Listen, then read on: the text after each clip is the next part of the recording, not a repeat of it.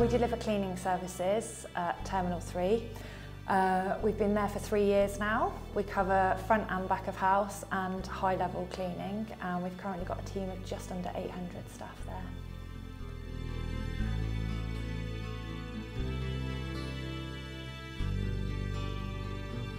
So we want to deliver uh, training to international standards. So we're now accredited by BICSc. It's the British Institute of Cleaning Science.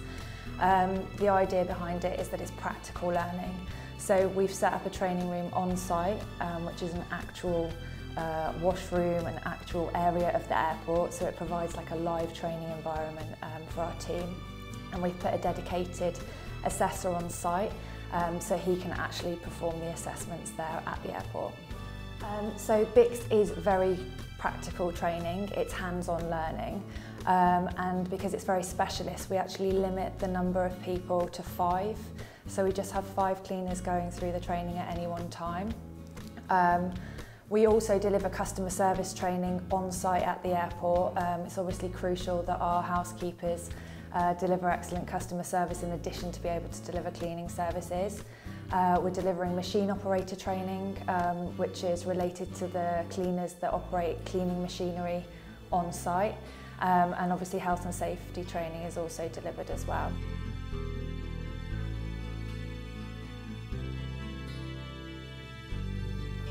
Unfortunately not.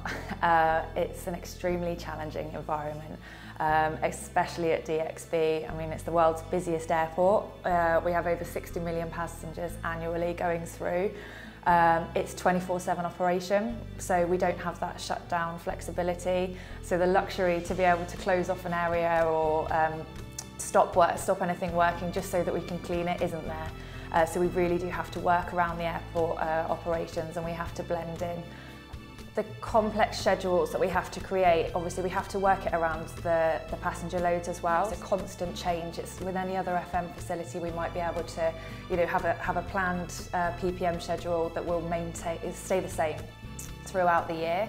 Uh, with the airport, we have to work around the flights that are coming in.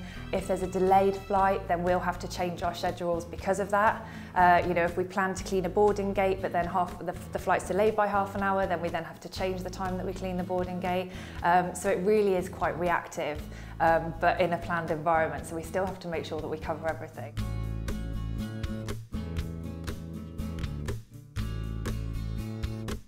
So Emrill offers a full range of facilities management. So we deliver hard and soft services, um, we deliver energy management, asset management, security services, and we're currently delivering that across the UAE um, in a lot of prestigious sites. Um, so obviously our aim would be to develop uh, not just delivering cleaning services within the airport, but to try and uh, tap into the other services that are available. And from the training perspective, we do have the NIC EIC accreditation, um, which allows us to deliver electrical training airside if we need to. So if we were to branch out into that side of facilities, then we're already set up and ready to go for it.